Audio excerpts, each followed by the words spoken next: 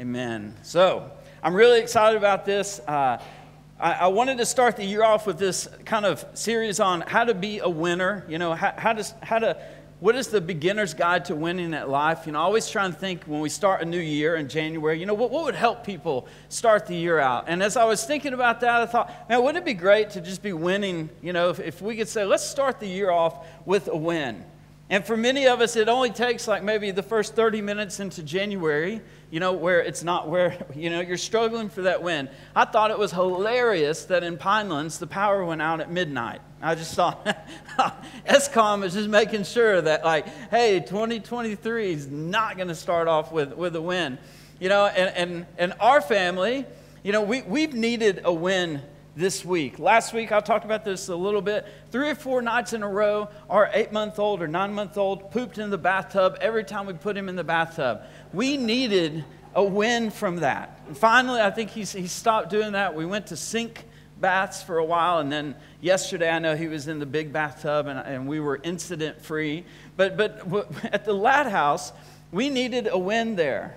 And I know that, that many of us, if we think about just silly things, you know, like, like the internet was down here and uh, none of the ventilation system turns on, and our gate motor wouldn't open yesterday because of load shedding. And, you know, all these things are happening. We had a noise machine just kind of explode because of power surges. And so then it's like, well, how does the baby stay asleep at night?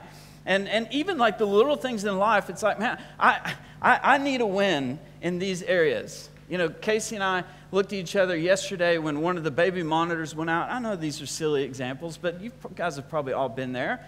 And one of the baby monitors wasn't working, and we're like, man, are we just going to burn through appliances? Like, is load shedding just going to start knocking out, you know, baby monitors and fans and, and everything else?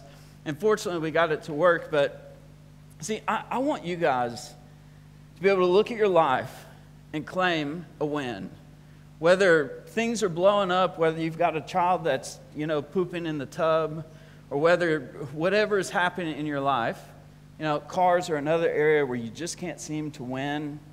You know, I want you to be able to claim that you have a win in your life.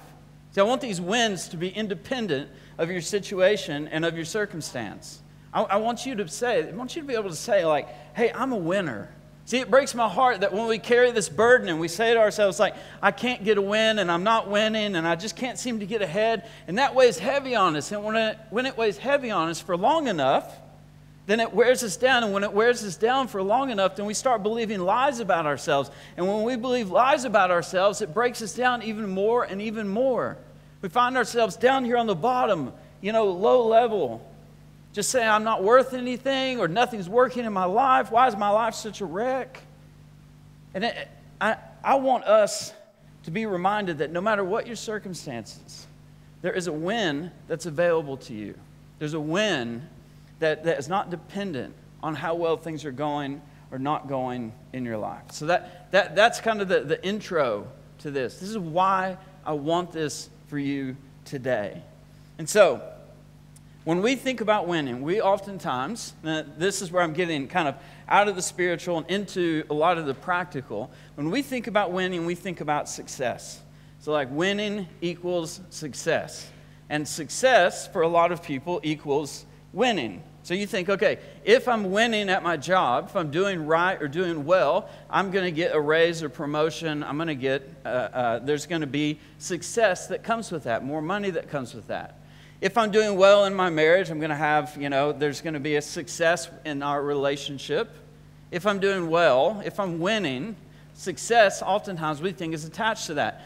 Or, or you can look at it the other way around. You know, we look at people that are successful and we think, well, they're winning people that are doing things right or, or, they seem to be making money their businesses are growing their lives look great they're driving great vehicles they're not broken down the side of the road they're not like me standing in the Virgin Active parking lot with my hood up jiggling a relay switch so that my car will start. You know they're, they're, they have success.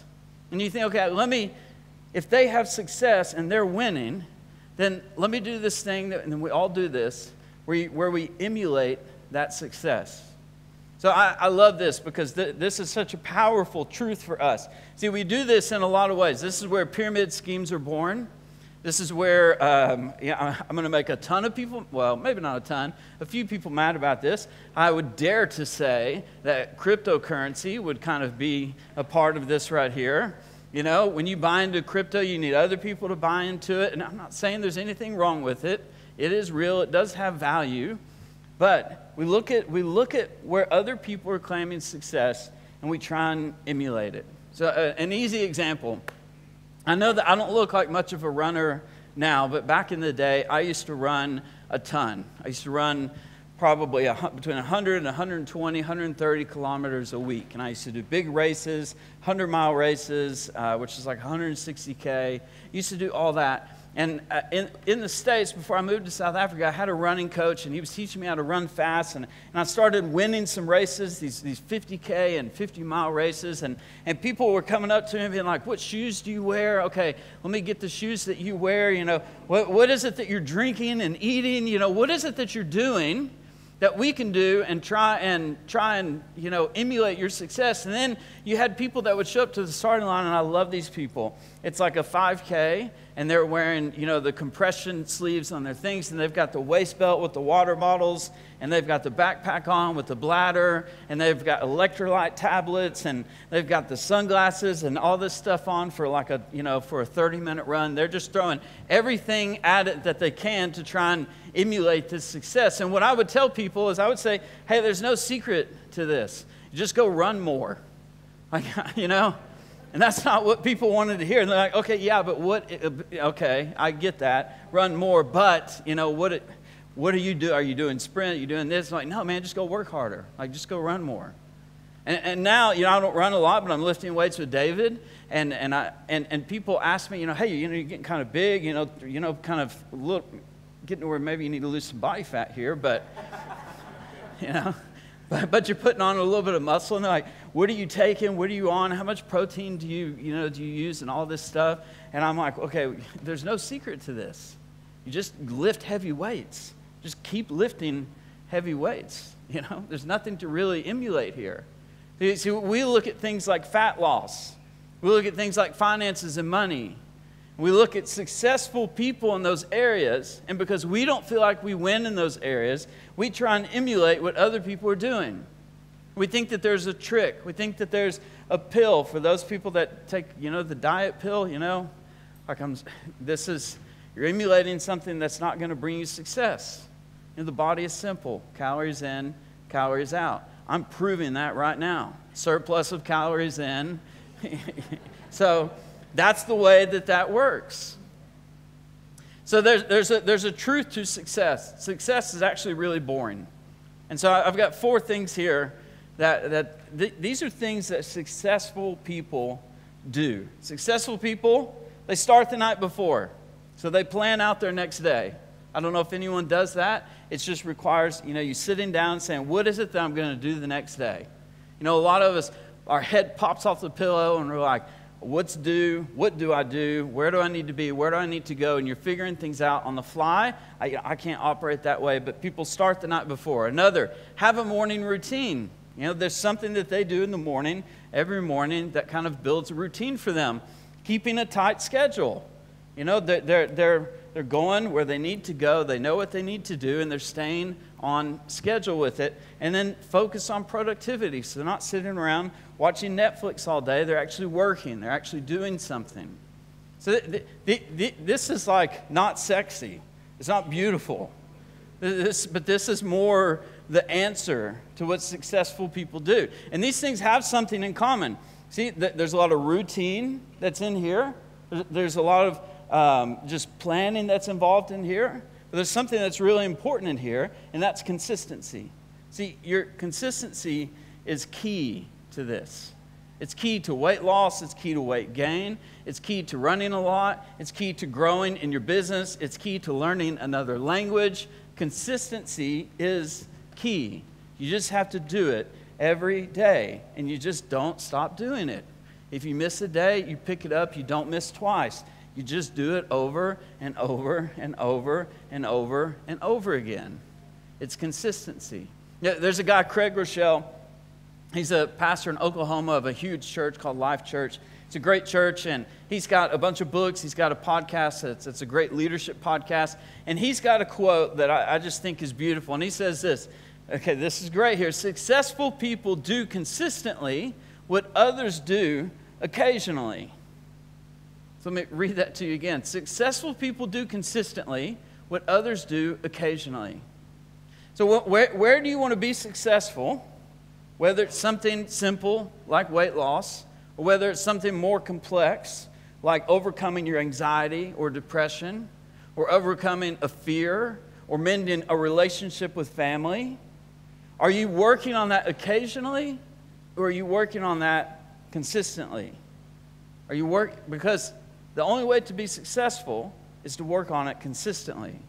See, consistency, consistency is, is key. So, when we look at the difference between these two words, consistency and occasionally, the difference between occasionally and consistency are our actions.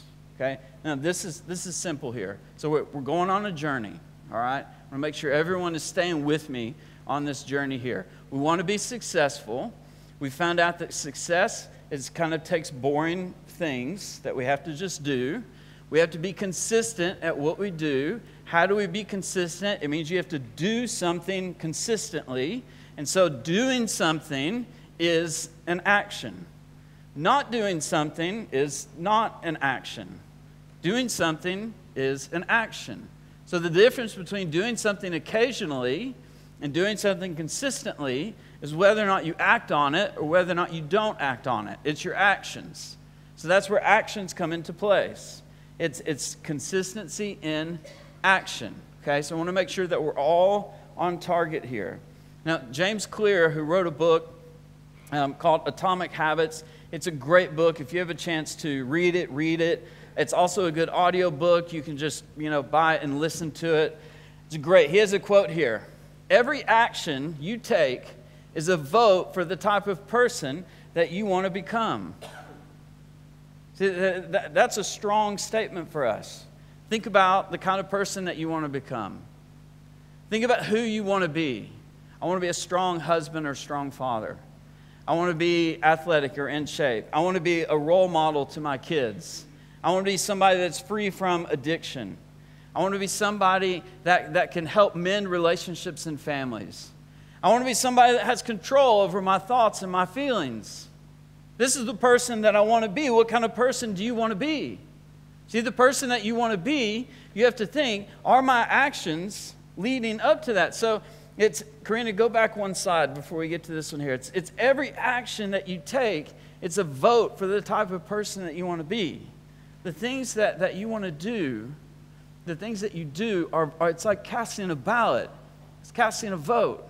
See, what, what that means to me is that inside every one of us, there's kind of two people there's the person you want to be, and then there's the person that you are. All of us have this, all of us are this.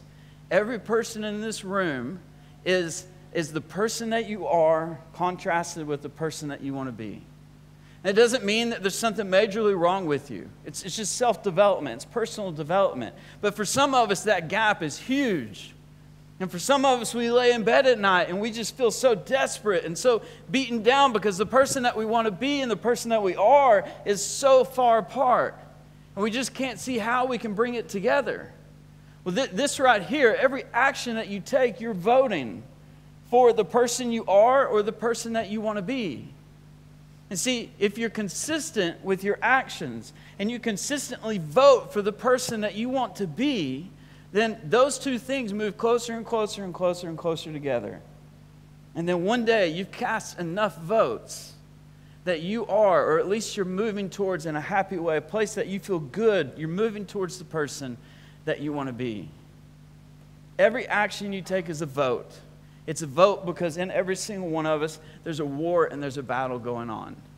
Now, I, I personally identify with this greatly because you know i struggle with, with, with a lot of things struggle with anxiety depression struggle with, with how I, I deal with that and, and, and in me there's always been you know these two people and I, I talked to my wife about it so much but man i just i just want to be this but I just keep finding myself stuck here.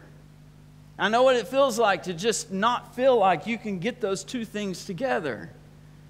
It's like I, I know that, that, that what it feels like when you feel like you can't mend a relationship or you can't control your thoughts or, or you, you, you can't be who you want to be, it feels like someone's holding you down or it feels hopeless.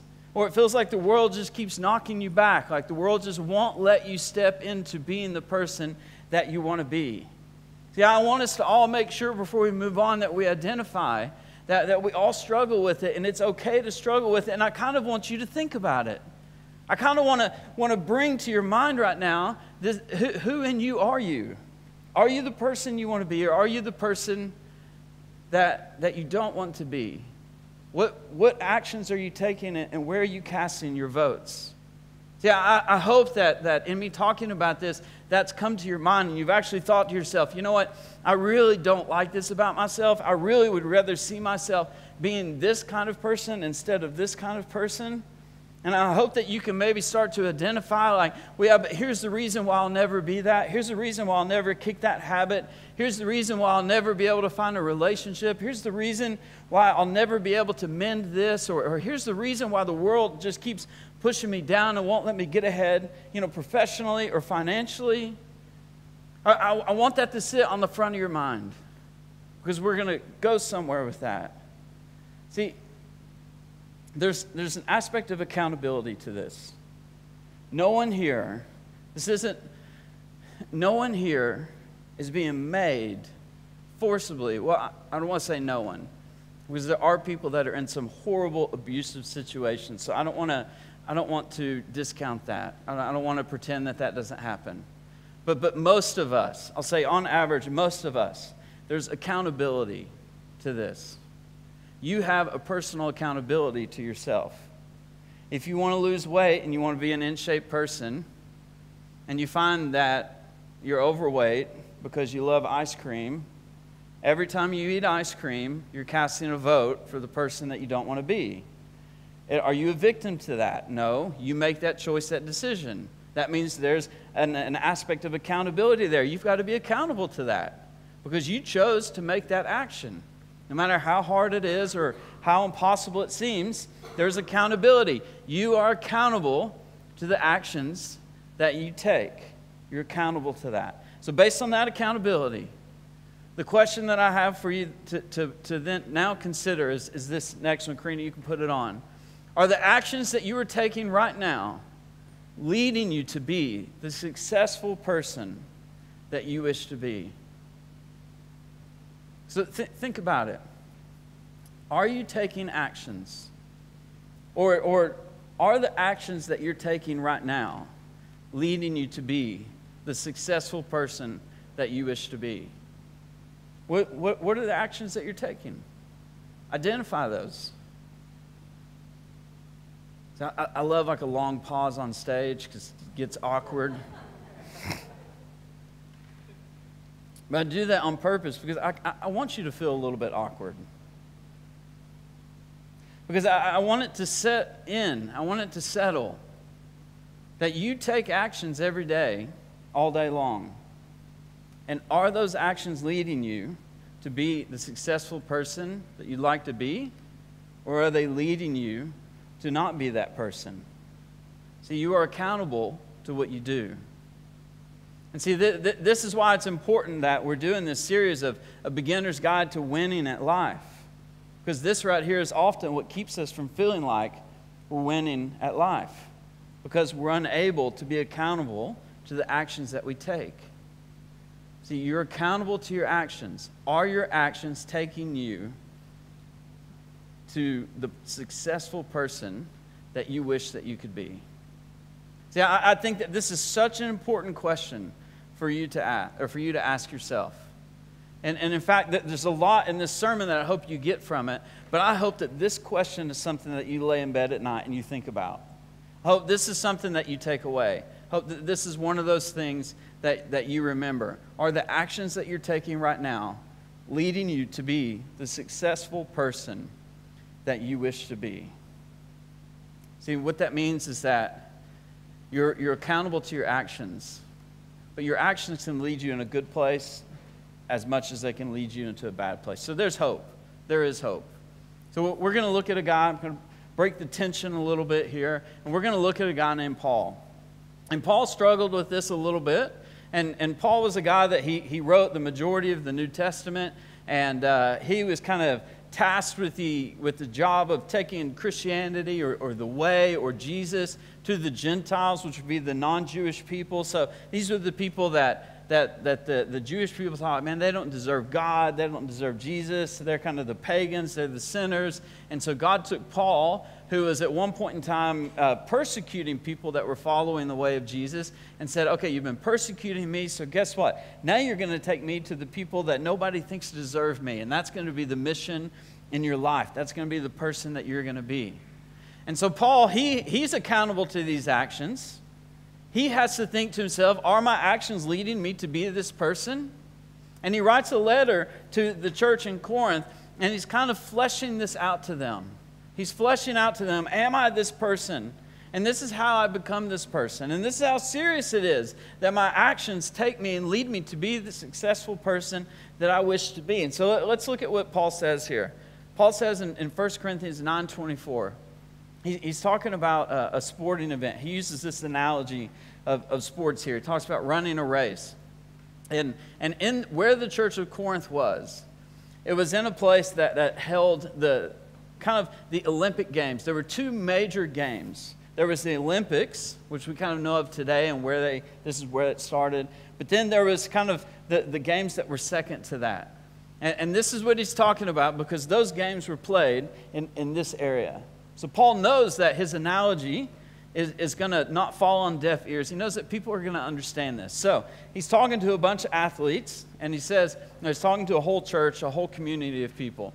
He says, Do you not know that in a race, all the runners run their very best to win? Okay, that's, that's obvious. In a race, everyone wants to win, but only one receives the prize. All right, it's easy to follow. Everyone runs, one person wins. Now, I know in America they're trying to get rid of that. Everybody gets a participation medal, and there are no winners, and I disagree with that completely. There's winners and there's losers. One winner, and everyone else is a loser, and if you lose, go try harder. I think that's something that we're missing anyway. That's for the childhood. So Paul says, says, okay, only one receives the prize, but run your race in such a way that you may seize the prize and make it yours. So Paul's saying, be intentional. Right? That's what this is. Be intentional. Run your race intentionally. Run the race with the intention that you're going to win. Paul says there's an intentionality to this. It doesn't happen by accident, all right? So be intentional. He goes on in, in verse 25 and it says, Now every athlete who goes into training competes in the games, and they are disciplined and they exercise self control in all of these things. Discipline and self control. Those are tough words there. Self control for me is a, is a tough, you know, it's a tough, tough thing. It's real hard to drive by a petrol station and not get a bar one or something. I can almost feel the Holy Spirit or, or a, something else just grabbing my steering wheel and pulling me into you know, and I'm fighting against it. And sometimes I, I get home, but it's discipline and self control. Paul's saying, everyone that competes in these games, they're exercising discipline, self control. Some of us have not touched discipline or self control in a long, long time, to be honest. Especially when it comes to who's this person that you wish that you could be? Well, part of the reason why you're so far away from that is because all your actions that you're taking, you're casting a vote that doesn't line up with this person. And because of that, you've not touched discipline or self control in a long, long, long time. Anybody here addicted to Diet Coke? You try and go like six hours without a Diet Coke and your brain just explodes inside your head. It's like you, you know, you're, it's like you need it, you got to have it. Well, you've not exercised self control discipline from that in a long time. And when you start, the first time that you start to exercise discipline or self control in your life, it's the hardest. When you first try and kick sugar, those first couple weeks are the hardest. When you first try and kick caffeine, so I don't know how any woman in this room would ever get pregnant knowing that you can't have a cup of coffee when you get pregnant. Watching my wife kick caffeine twice was like, how are you functioning? How can this even be worth it? Is it worth it, ladies? Is, I mean, I guess it is because we're all here. But so Paul goes on in this and he says, they do this. They exercise discipline and self control. They do this to win a crown that withers. So he's talking about, you know, they win an earthly prize. It's, it's a wreath, it's a green, it's a bunch of leaves. You know, put leaves on the head, but that's going to wither and that's going to die. But we do it to receive an imperishable crown that cannot wither. So Paul said, okay, our prize is not earthly, our prize is something that's even better, something that's even more. So that means that the discipline and the self control that you're going to start putting in place after this message is not just going to help you with your day to day thing here, it's actually going to help you with something greater in your life. So Paul goes on in the next verse and he says in verse 26, he says, now he's talking about himself. He's making a proclamation. Some of you need to write down a statement of proclamation. You need to claim something over your life. So Paul claims, Therefore, I do not run without a definite goal. I have purpose to why I run. He says, I do not flail around like one that's beating the air, just shadow boxing. Paul said, I have a goal. It's definite, it's planned. I'm not just flailing around, I'm not just boxing at the air. And he goes on in verse 27, he says, But like a boxer, I strictly discipline my body and I make it my slave so that after I have preached the gospel to others, I myself will not somehow be disqualified as unfit for service. See, Paul was called by God to take the gospel to the Gentiles. Every action that he took was a vote to be that person. He was intentional about it. He, he had discipline with it. He was self controlled with it. He, he, he had a plan. He had a purpose. He knew what he needed to discipline in his life. He needed to discipline his body, he needed to discipline his urges, his thoughts, his mind. See, Paul tells us that he had to be intentional to be the person that he wanted to be. So that, that brings up this word, discipline. That's right, here's a great word. It's a word that we love, and I'm not talking about discipline in your children. I'm talking about you having discipline on your life. So this brings us to step two. Last week was step one, uh, the beginner's guide to winning at life. It was build your house on a firm foundation. Step two is to begin a discipline. So we want to begin a discipline. How are you going to get to be the person you want to be? How are you going to bring these two people together? I'm going to teach you a discipline today that's going to help you do that. So, I've got another quote from James Clear here. He says, This is so good. This is why I don't do New Year's resolutions. Okay, I, I, I don't.